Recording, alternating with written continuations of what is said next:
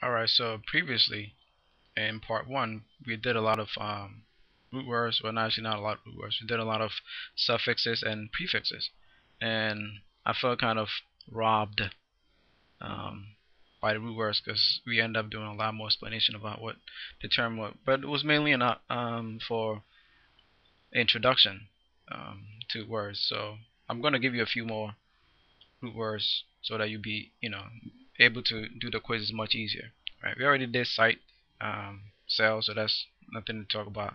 Uh, hist we didn't talk about. Hist simply means a tissue. Right? So histologist would be a specialist of the tissue. Put that way again. And um, you can rewind this if I'm going a little fast, but I'm going to try to get as many root words as possible. So hist again would be a tissue. All right. Uh, let's go back. Uh, what else can we talk about? All right, kary, kary, kary. Right, you don't see this too often, but that means a nucleus. Nucleus. Alright. Again, kary, nucleus. Alright. Um, nucleus can also be described simply as nuclei. Alright, and you just add U2. So that's a good, great thing about some of the root words. They have multiple uh, meanings and also have multiple items that could be uh, for them. Right. Um, we talk about Cardi, so I won't go there. We talk craning, things like that. We, I won't go into it. Um, something that you don't see too often, dors. Right. If I say dorsal, you quickly get it because remember we did dorsal. Right, means back. So that would be something easy for you to get.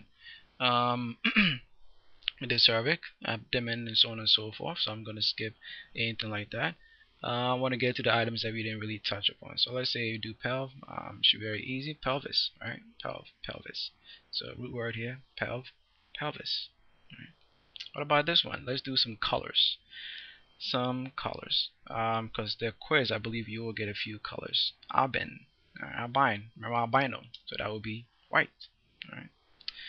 Um, have you heard of this one? I'm sure you have uh, probably heard of it. You've probably seen it like this though right? Chrome, right? And really that just means color. Right, so let's do some chromes basically. Instead of saying let's do color, let's do some chromes. Right. Well, actually doesn't sound doesn't like very kosher, but anyway. Um anyway. Uh what about this one? Chlor. Right. Chloroplast.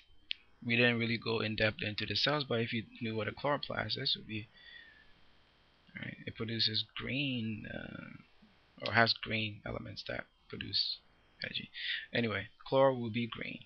Alright. What about this disease? I'm sure you probably heard of cirrhosis, right? You heard of cirrhosis? Remember we did osis already, this condition.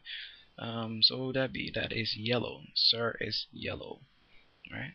Yellow can also be described as jaund. Right? As in jaundice.